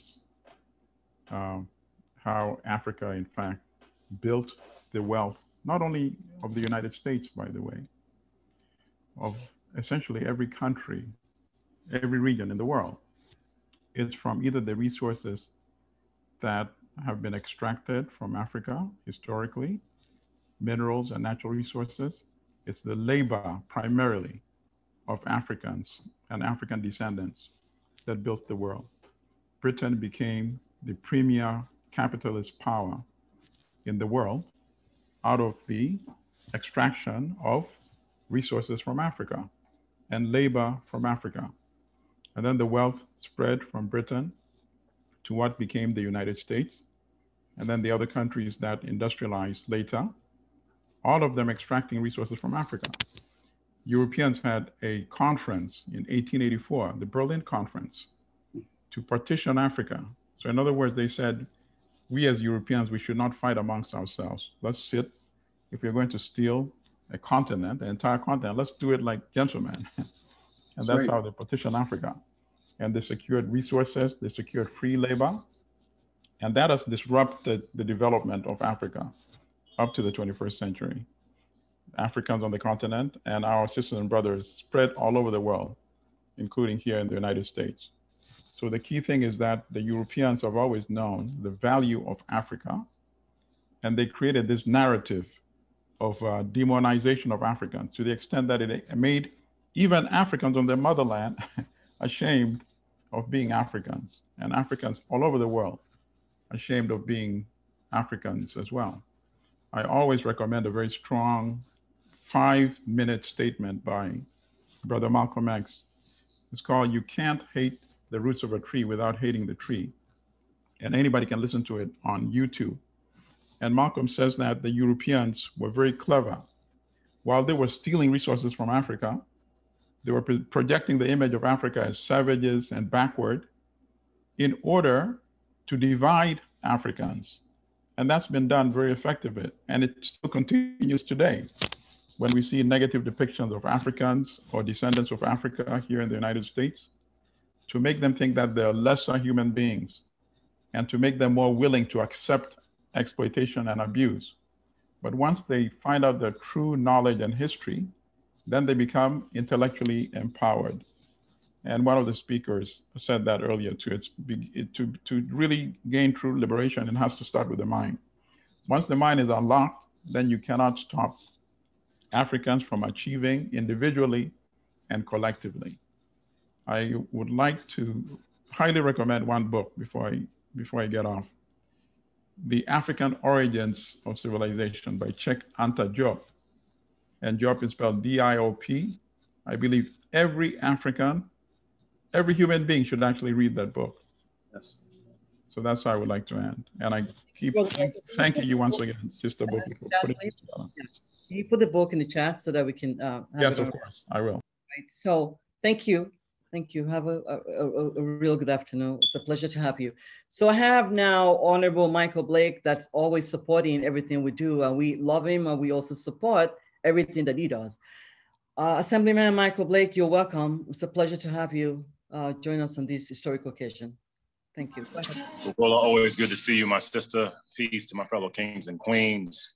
Uh, and great to be in your presence um, as we, of course, celebrate um, not just Black history, but also our African history, because you can't separate the two. They are intertwined and they are one.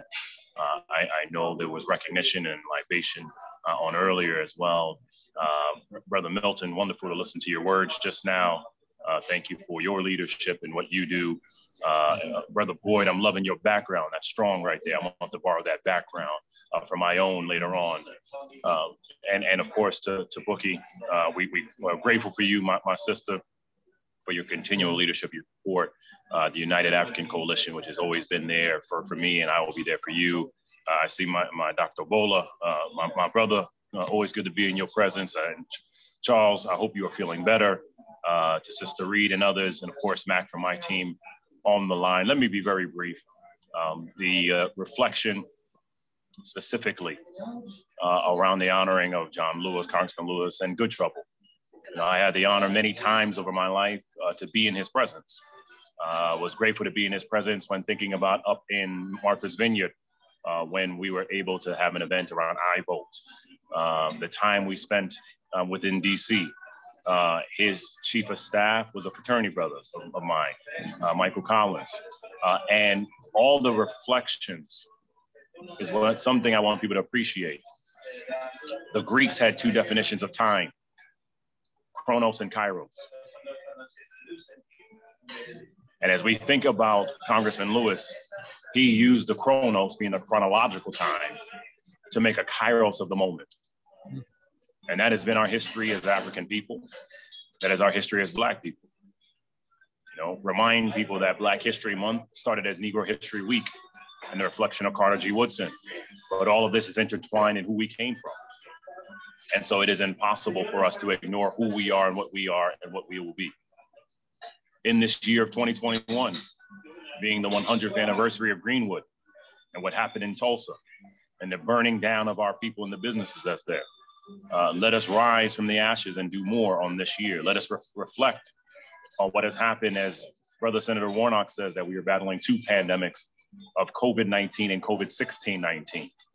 And it is impossible for us to not appreciate 1619 without appreciating the origins of Africa, of where we were taken from our motherland. And so let us be attentive of that um, as we recognize good trouble and the good trouble that we will cause. Uh, lastly, uh, I say thank you. Thank you for what you are doing. Thank you for what you shall do. And thank you for all that you're doing on this journey. Uh, it is not about us just having Black history in February. It is about us realizing that Black history happens every single day. Uh, and how do we continue to demonstrate that and reflect on that? And how do we use this moments to teach everyone about the culture of Africa uh, and how it's intertwined um, in our Blackness, it's intertwined in our culture, it's intertwined in our intelligence, intertwined of our excellence. You cannot speak of Black excellence without speaking of Africa. And so I, I come to you, say thank you. Uh, it is great to be in your presence. I, I won't be with you long uh, because I wanted us to come and say hello and, and recognize and show that love. Uh, but you already know whether it be United African Coalition or anyone else associated, anything you ever need, I'll always be there for you. Um, God bless you. Happy Black History Month and happy celebration to our people of Africa. Bookie, back to you. Thank you so much, powerful and short. Thank you. We appreciate you and all the best, brother. Okay.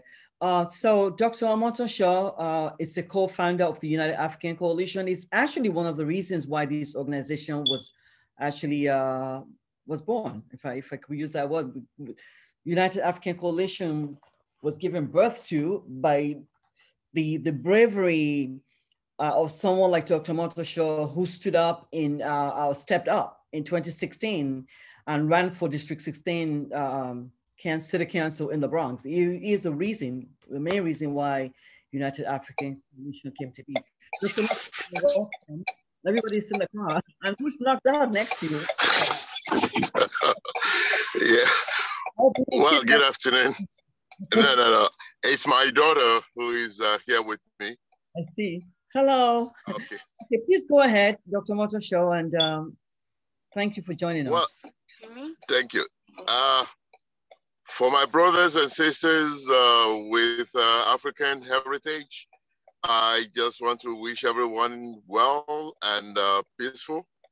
Um, let me just use this opportunity to say thank you to Buki, who is the executive director of uh, United African Coalition, and also to our honorable chairman, um, Charles Cooper, and all our elected officials who have also uh, spoken so eloquently uh, this afternoon.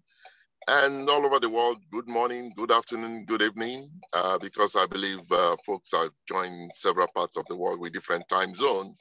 Having said that, let me just use this single opportunity um, to challenge a notion of an African brother who is running for governorship in one of the states here in the United States, who came up on here and said, oh, they should abolish uh, Black History Month. For folks that are uninformed, um, we should use this opportunity to train them, to teach them, to educate them, to encourage them to listen and understand the historical value of where we come from, how we got here, and where we're going. And most importantly, on the shoulders of whose we stood, uh, enabled to be able to do what we're doing. Um, thank you, Buki, again for that uh, wonderful. Uh, I'm humble with the introduction, uh, which, yes, I'm privileged to have been in the district I've not known any other district other than the Bronx in New York City since I've uh, migrated to this country uh, about a quarter of a century ago. And um, yes, I did run for office in 2013. Uh, but prior to then and up till now, uh, I'm still very active in the community, but also encouraging Africans in the diaspora, meaning that uh, if you just came in here yesterday, or you've been here longer than myself, or you have plans of coming in, I'm so excited about uh, the dispensation that uh, and the recognition that Africans and African in the diaspora and all over, especially the Black race, are having now with the visibility. We are not talking about reparation, that's a different topic entirely. But this is a special event that I just want to say thank you to everyone on this panel. And uh, Madam Buki, thank you so much for, the, for putting this together. As you. you. can see, I'm also on the road see. uh, doing community service. Now let me Thank let me you. uh, let me underscore that. I mean, I am not I'm not nothing pretty much without without you guys honoring the call. When we call and everyone hit the call, that's where the power is. So I really appreciate everyone. United African Coalition appreciates everyone that come to honor us. To, and you know staying course uh, through throughout this event we, really appreciate you so i don't believe there is anyone else on this line that would like to uh dana would you like to chime in as we as we close out sister dana thank you i see you Absolutely. Um, this is so great. I mean, we're at the close of Black History Month, um, which they gave us a month, but we know it's it's hour by hour, minute by minute. It's really good to see um, old friends, new friends. Um, and for those that know me, um, I'm just passionate about bringing our diaspora together. They tried to separate us, but it's not possible. Um, and my hat's off to you, uh, Bukola. You always bring us together. Um, I enjoy working with you and the messages, the work you do, um, and just bringing us together. This is our community. We have to take ownership of it. We can't sit on the sidelines and wait. We know what happens then. We get moved, we get displaced. Um, and so we're in this together. And as uh, Ray McGuire said, together we rise. We are an economic force. Um, we are the biggest consumers. Um, we just fail to understand that because of the systemic um, divisiveness. And we're not going to let that happen anymore because of forums like this. Um, Roscoe, I haven't seen you um, since our last journey, but um, that's why we need forums like this and leaders like Bukola um, and these organizations so that um, we do rise together and we stay together um, and, and work with all. So um, thank you for including me. Um, I'm, I'm here on this journey. This is our journey and, and we'll do it together. Thank you, Dana. Bookie, can I say something before you close? I was actually going to call you. I, I was actually going to call you. That's that's the spirit talking. Yeah, go ahead, please. I was about to call you. No, I think it's I think it's wonderful. I think there's always been synergy between New York and Philadelphia among Black people, and I think we definitely need to enhance that as much as we possibly can, because there's too much going on right now. Uh, we talked about the power of politics. Uh, I was getting ready to write a scathing letter to the idiot who had the audacity to say that we need to do away with Black History Month. And I think whenever we see these kinds of insults, we need to definitely respond and make sure that they understand that we're watching them. We cannot take it uh, silently. We cannot afford to allow what has happened in the last four years to continue. And we have to make sure that not only do, does that get, uh, uh, what can I say, stopped, but that whatever harm that has been done as a result of the previous four years are now remedied. And yes, I am talking reparations because reparations are due Africa and they're due African Americans because we were oppressed by the same people. We just got do- dropped off one place geographically and they took over what you had over there in the homelands. The other thing is that um, I wanted to give greetings to my brother Milton Alimadi because I used to write for the Black Star News and, and let him know how much, how happy I am every time I see his face and every time I see, read anything that he's done. Thank you, And sister. so, and so habari gani? Zuri sana. Stay well, Yeah. sister. Mm, Thank Much you. love. Not a problem. And and I think that we definitely need to be moving in that direction. Every this first Tuesday of every month here in Philadelphia, the Mayor's Commission on African and Caribbean Immigrant meet for two hours without fail, dealing with issues, whether it's local or international, having to do with Africans, whether they're here or in, in Africa. And we're very serious about what we do. And what I'd like to do is send you the information so that you guys can chime in. And I'll send you the Zoom link for it because I think we need to be definitely working in concert with each other. Thank you. And that's to you too, Milton, my brother. So So Charles, uh, Thank you, sister. Charles, are Thank you you. still there? Uh, Chairman, can you please uh, give some closing thoughts?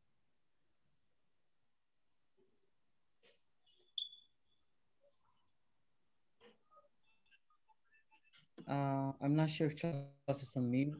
Charles, can you hear me? Um, yes, yes, yes, Bukola. I'm, I'm having um, my, um, can you hear me? Yeah, I can hear you. Um, You want to chime in just quickly? Yeah, sure. Well, uh, first of all, I, I just want to once again thank the panelists um, and and yourself. Um, you, you know, you know, this was meant to happen. Um, the gathering of um, a collection of folks uh, from different parts with different skill sets, but with one goal in mind, which is the empowerment of Black and Brown people and we we are at a crossroads right now. And this this is an opportunity for us to collectively put our energy together and move our people forward no matter whether um, uh, we're on the continent or in the diaspora. And you know i i pray and and i'm hopeful that this is not the end of it um, that gatherings like this uh, will happen more often. And as a people because at the end of the day we're all one you know no no matter what country or what region um, um, you, you, come from we, we, we are all one. And we are all part of one collective. Um, and because we're all part of one collective no matter whether you break us apart uh, whether you take us to the americas or you take us you know, far east, you know, at the end of the day, we'll always be connected with one consciousness. And because of that, we'll always find ourselves back home um, to this one continuum. Um, and, and this and this is this is the start of it. Um, so I, I I'm, I'm I'm very hopeful and I'm thankful for um, everyone that got the opportunity to participate um, in this event. And once again, um, thank you, Bukola. Your heart is so big, and um, and, and we, we, we need more of you. Thank you. Thank you, Honorable Chairman Charles Cooper. Roscoe, please some closing thoughts quickly, brother. Thank you, Bukola. Uh, I just wanted to say again how wonderful this event is and what is possible in this moment. You know, sometimes we forget that the power is in the seed. And this is the seed of something that I believe is, is much greater than we could envision right now separately, but collectively, the power that's on your panel and the power that is in your audience is a great thing. And so I want to encourage you and stand with you as you continue to build our coalition, as you continue to unite our people, as you continue to sow seeds of grace and peace and unity among us all. So thank you for inviting me and allowing me to share today as well. Thank you so much. So this this event is not would not have been possible. That sounds like a cliche, but it's really real that we could not have done this successfully without Mac Makishima. Mac, would you please say something? Mac is this volunteer that's been working with me day and night, not just on this event, but in the past. So Mac was the former actually staffer with Michael Blake. So I, I kind of like that was how we met and then we connected from there and I kind of stole him from him like anytime I have. Mark, please say something, please. I really, really appreciate you. Yeah. Of course. Well, thank you, uh, Bukola, thank you all for for having me join you. Uh, it's been a real pleasure. It's always a pleasure to work with Bukola. It was a pleasure to work with her in the assembly, um, where we, you know, collaborated often. It's a pleasure to work together with her now. Um, you know, well, now that I have uh, you know no more affiliation with the government and you know have some uh, sort of more free reign to sort of associate um, you know it's really an honor to be sort of a guest in in this event and to sort of be here with you in a really important uh, historical month um, for this community but also just to uh, to sort of help sort of illustrate themes that will go beyond this month um, and that are relevant to every every day of the year. Um, and uh, I, am honored to be a guest here. I'm honored to uh, to be with you all, and uh, thank you, Bukola, for including me in this. You're welcome. So I'm gonna uh, close this out by quoting. I've been learning so much from uh, watching Black History Month. PBS, shout out. PBS is just my school on everything that is Black History Month or Black History. So one of my favorite quotes among thousands of quotes is goes like this, and I quote, although it's the end, but it's not over because black seeds keep on growing. End quote. By Ellis his his slip, March 7, 19, 1973.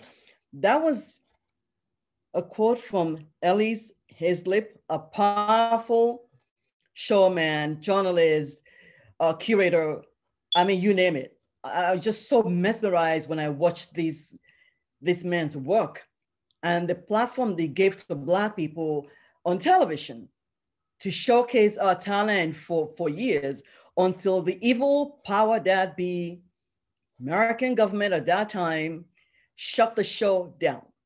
They just did not like the power that this man was showing how black people what black people can do. Anyhow, so that was a quote from him. And this was in March 7th, 1973, when the show was shut down. And Ellis Haizlip uh, was born in 19, uh, actually it was it died at the age of 61. I don't have his uh, you know date of birth here, but very powerful. It's still showing on PBS. It, it's actually the, the, show is called the Soul S O U L. That is it. That's it. That was the show. It's really powerful. For everyone, I mean to everyone, from my heart to yours, I'm, I'm very grateful for what's important are the people that show up for you. I am nothing if you guys don't show up for me and you're always showing up and I appreciate all of you. And uh, United African Coalition continues to, you know, charge forward, carrying the torch. Thank you so much, guys, and you have a good afternoon. In New York, it's good after it's afternoon. Bye bye. Thank you.